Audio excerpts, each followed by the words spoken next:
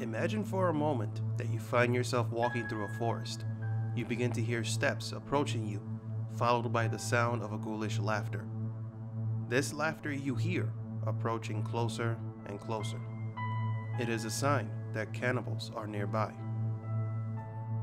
Today, we're going to take a closer look at a disease that causes uncontrollable laughter to people who eat human flesh. This terrifying disease called Kuru. There are several tribes in New Guinea that practice cannibalism. This tribe is dedicated to looking for human corpses to consume their brains. According to their belief, eating the brains of the newly deceased will grant them more wisdom. These macabre rituals of this tribe are world famous, and they inspire a terrible fear to the people who find themselves too close to these type of tribes. We know that the belief of increasing our wisdom or intelligence after consuming the brains of a recently deceased person is an erroneous belief, and that the origin of said beliefs is simply superstition.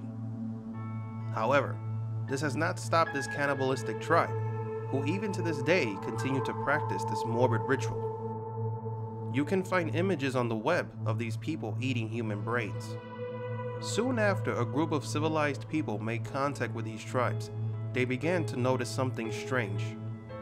Many of the tribesmen suffered from a rare illness that leads to their death in only six months. The strange thing about this disease were its symptoms.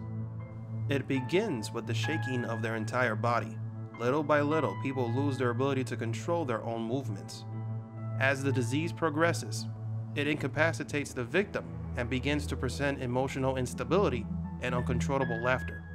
In the end, the symptoms of the disease are so severe that it causes death due to laughter and convulsions. Dr. Daniel Carleton decided to try to find the origins of this terrible disease. At first, he thought it was hereditary, but he could never imagine that this disease was caused by something very unpleasant.